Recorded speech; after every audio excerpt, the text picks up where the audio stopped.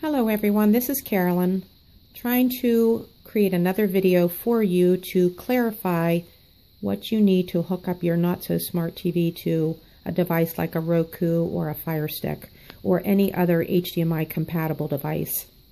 So as we look at the back of my TV, this is the same TV I had in my first video, as a lot of you will recognize.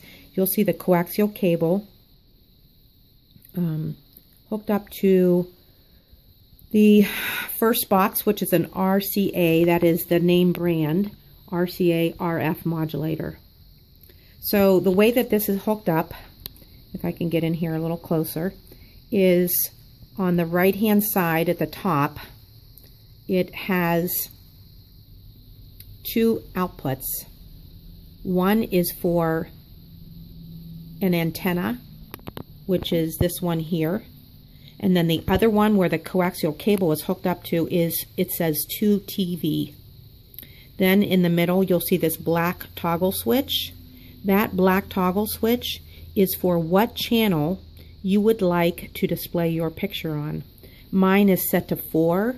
That is on the same side as where you put the coaxial cable. This little toggle switch here, right there in the middle.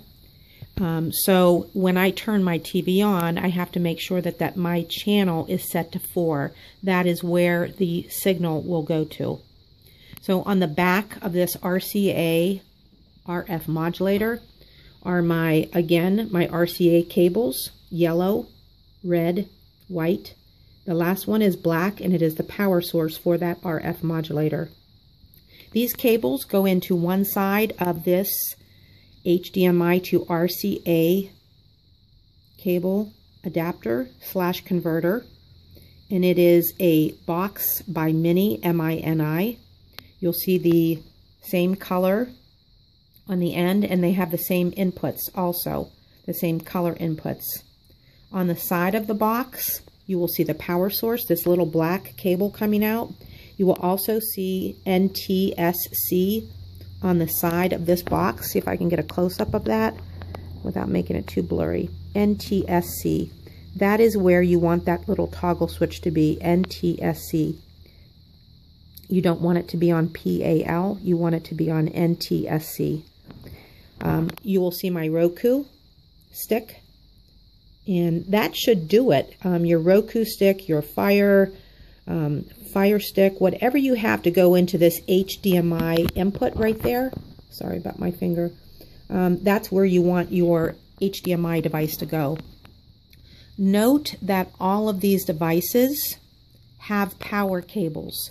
This is the power cable for the HDMI, and this is the power cable for the Roku, and this black um, black cable, that is the power source for this RCA to RF modulator.